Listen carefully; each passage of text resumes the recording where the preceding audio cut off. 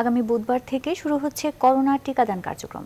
ওই দিন রাজধানীর কুর্মিটোলা জেনারেল হাসপাতালে একজন নার্সকে টিকার প্রথম ডোজ দেওয়ার মধ্য দিয়ে এ কার্যক্রমে শুরু হবে। ভার্চুয়ালি যুক্ত থেকে কার্যক্রমের উদ্বোধন করবেন প্রধানমন্ত্রী শেখ হাসিনা। শনিবার সাংবাদিকদের এসব তথ্য জানান স্বাস্থ্য সচিব আব্দুল মান্নান। এদিকে টিকা নিবন্ধনের জন্য অ্যাপের পাশাপাশি বিকল্প তালিকা তৈরির উদ্যোগ নিয়েছে স্বাস্থ্য অধিদপ্তর। আরও জানাচ্ছেন হাসান পারভেজ। গত বৃহস্পতিবার সেরাম ইনস্টিটিউটের তৈরি অক্সফোর্ড অ্যাস্ট্রাজেনেকার বিশ লাখ ডোজ টিকা ভারত থেকে উপহার পেয়েছে বাংলাদেশ।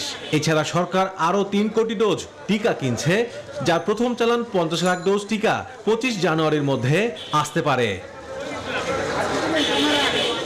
এমন অবস্থায় স্বাস্থ্য সচিব জানিয়েছেন, আগামী সাতাশ জানুয়ারি বুধবার থেকে করোনা ভাইরাসের টিকা দেওয়ার কার্যক্রম শুরু হবে।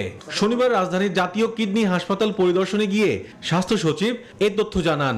এই সময় উপস্থিত ছিলেন স্বাস্থ্য অধিদপ্তরের মহাপরিচালক। আমরা আশা করছি আগামী সাতাশ তারিখে আমরা এটা উদ্বোধন করব।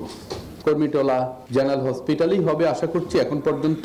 সচিব জানান, রাজধানীর কুর্মিটোলা জেনারেল হাসপাতালে একজন স্বাস্থ্যকর্মীকে দিয়ে দেশে শুরু হতে যাচ্ছে করোনার টিকা প্রয়োগ।